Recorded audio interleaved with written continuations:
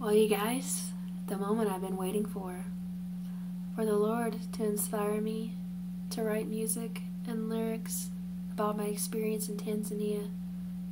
I support, I sponsor and support a child there that I was able to see, and what a joyful experience it was. And for me to be able to write a song about it brings me great joy. All glory and honor be to the Lord Jesus Christ, Yeshua HaMashiach.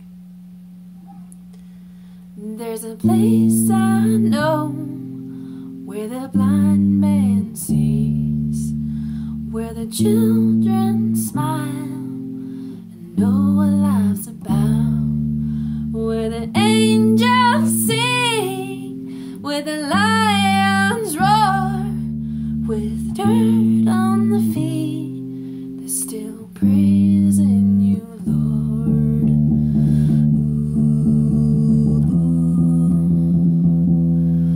Where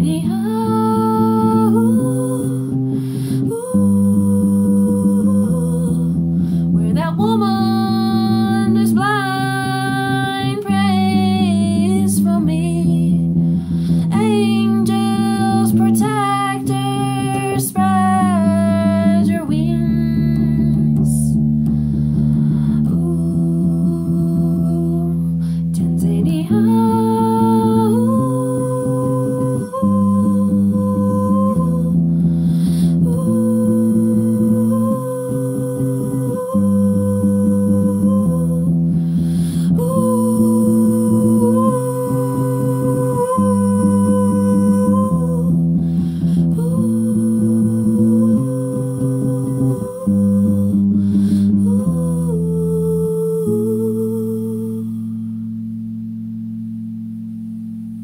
God bless you all today.